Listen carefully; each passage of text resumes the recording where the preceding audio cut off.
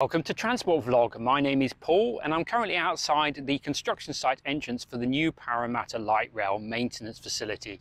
So this is part two of my current Parramatta Light Rail update series. It's early March 2022 and in this video I'm going to cover this maintenance facility and then the line from Camellia to Carlingford. In my last video I covered from Westmead Station to the James Ruse Drive Bridge. So in this video I'm going to continue for the James Ruse Drive Bridge to Carlingford. But before I do that, I'm going to cover the maintenance facility, starting from where I'm standing, which is just here on Colquhoun Street. At this entrance, there are some porter cabins and a CAF ute. The trams on this line will be the CAF Urbos 3s, which are the same models that are used on the L1 Inner West Light Rail and also in Newcastle and Canberra. Here are some further views from Colquhoun Street. As you can see, it's still very much at the earthworks stage. This heritage high voltage building is on the corner of Grand Avenue and Colquhoun Street and is outside the construction site. Now looking from Grand Avenue. This is after several days of very heavy rain, so lots of earthwork and drainage is required to make this site suitable for trams. The future tram tracks will go right through where this water currently is. In this video I will be covering the changes that have happened in the last three months, so do watch my earlier update video first link in the description and appearing on screen now. This was filmed on Saturday the 5th of March 2022. If you know what this is, please do share this in the comments below. Since I was last here, horizontal cantilevers for the overhead wires have appeared, along with the tram only signs. And looking the other way, you can see the red tram only warnings on the track bed. The cantilevers, tension cables and overhead wires have now been installed. This is how it looked three months earlier. So now at the James Ruse Drive Bridge where I finished my part 1 update. I haven't heard any news on the results of the naming competition for this bridge, so it's still the James Ruse Drive Bridge for now. This is taken from Grand Avenue North. From this side of the bridge, the line descends before making a sharp left for the Camellia stop. In part 1 you saw the track laying on the western approach to this bridge. Track laying is also progressing on the James Ruse Drive Bridge itself, with construction work taking place seven days a week to get this finished. If you look closely, you can see some people working on this bridge right now. This is how the track laying is looking on the eastern side. You can see the concrete wall and fence between the tracks and the active transport path. And here is a closer view of the tracks you can see a small section of finished track towards the end of the descent and at the end of the bridge the tracks turn slightly right to join the lines that were completed last year. This is how it looked back in October before the track laying started on this bridge. Now let's take a look at the Camellia stop and the junction just before it. Trams will turn left to access the Camellia stop and the line to Carlingford and when out of service they will use this spur to access the lines to the maintenance facility. The Camellia stop is where these vehicles are. You can make out one of the platforms here. Not much has changed at this stop since my last video. Back in November last year, the overhead wire poles were in place, but not much else. Now you can see the horizontal poles that will carry the overhead wires. These are known as cantilevers. You can also see the tension cables that will keep these cantilevers horizontal. The Camellia stop is over on the right. The line to the maintenance facility has been completed with overhead wires for some time now. The yellow person sign is a warning for the overhead wires above. This is from Grand Avenue North. The active transport path is on the other side of the black fence. These two overhead wire poles are currently the last ones, although more will shortly be installed on the bridge to Tramway Avenue. It will be interesting to see if the same design of overhead wire equipment is used on this bridge or something different. This cycleway behind me is on what I believe was the old junction to the Sandown line. It seems to be open now, so I'm going to take a look. This took me one and a half minutes to walk, so I've speeded this up. I believe the purpose of this path is to provide a pedestrian link from the Camellia stop to the Rosehill racecourse. So rather than being a cycleway, it's more likely to be a footpath or shared path. When I saw these workmen on the left, I realised that this path probably isn't officially open. It's more likely that they forgot to close the fence when they came in. When they saw me filming on my iPhone, they realised that I wasn't lost and didn't seem to mind me being here. So you've seen this path before anyone else.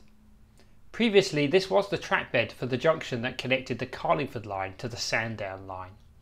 The Rosehill racecourse is on the left and it looks like this will be as far as I can go. On the other side of this fence, the path continues a little further to the trackbed of the old Carlingford line.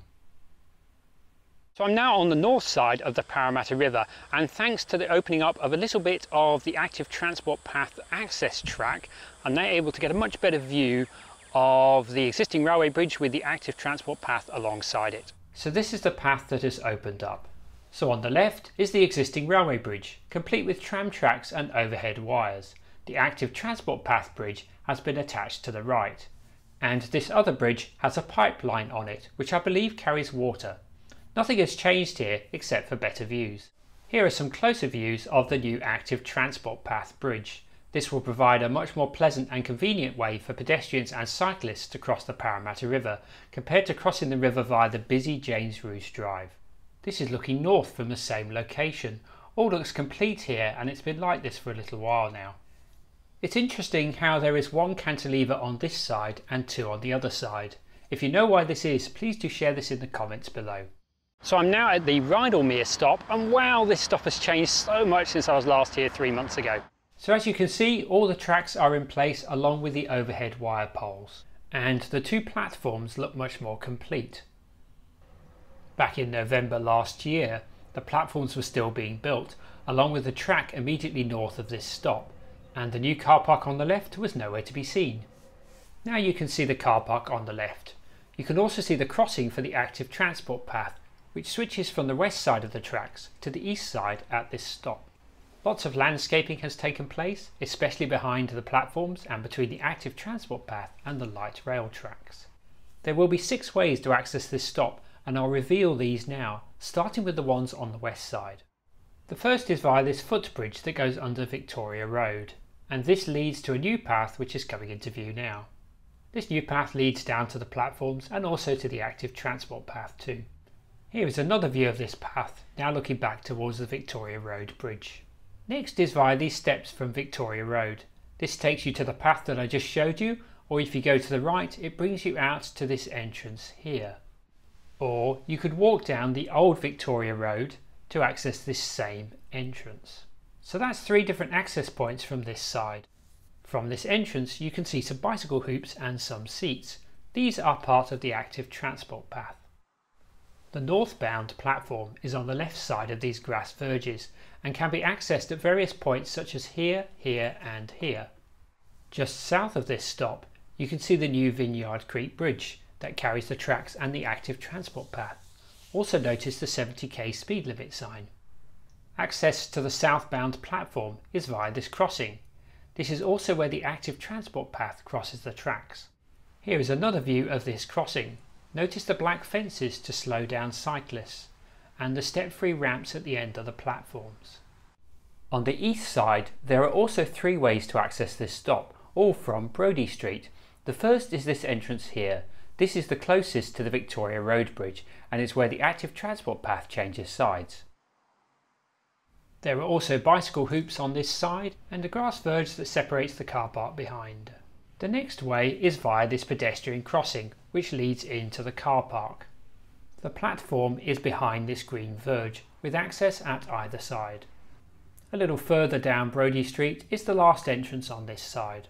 This path is at the south end of this stop. From here you can cross the tracks to access the northbound platform or access the southbound platform and car park from this side.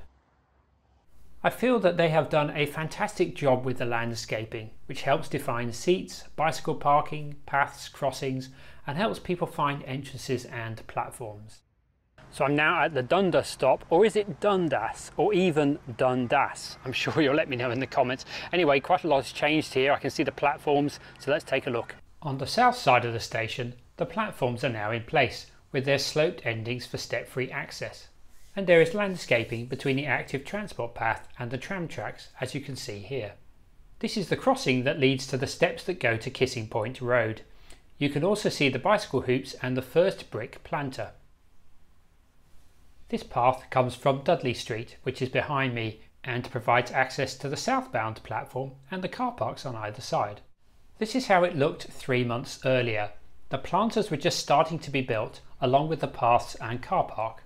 And the platforms, well they were very much a work in progress at this time. This is the second planter with the original platform building behind it. You can also see an overhead wire pole and cantilever and parts of the northbound platform. And here is the third planter coming into view on the right. Now just north of the Dundas stop and pedestrians can now walk along the entire length of Leamington Road as this new underpass has now been opened. The original underpass carried a single track, so this new wider one now carries two tram tracks and the active transport path. This is strange, it's definitely not 4.436 kilometres long or wide, perhaps that's the distance from Carlingford. So I'm now at the Telopea stop and unlike Rydalmere and Dundas, I can't see very much that's changed here at all really. So um, what I'll probably have to do is look at my other footage from three months ago and play a bit of spot the difference. I couldn't spot any differences. The tracks, platforms and overhead wires have been looking like this for several months now. I'm sure the platforms will get canopies and I reckon this is a separate contract as no platforms at any of the stops have progressed beyond this stage as yet. I've spotted something. These signs have appeared since I was last here. To see more of the Telopea stop, do check out my previous Parramatta Light Rail Part 2 update video, there's a link in the description. While the Parramatta Light Rail is being built, there is a replacement bus service on the old Carlingford line, it's 535, and um, it's totally empty, but I'll tell you what, it's quite hilly up to Carlingford, so this is going to save my feet a little bit. The 535 bus runs every 20 minutes in the off-peak. It starts in Parramatta and stops close to the Camellia, Rydalmere, Dundas and Telopea stops only and then terminates at Carlingford. So now at the Carlingford stop, which is the northern terminus for the Parramatta Light Rail. Doesn't look like much has changed here either. I was hoping that some of this fencing might have come down so I can get a closer look, but it doesn't seem to be the case.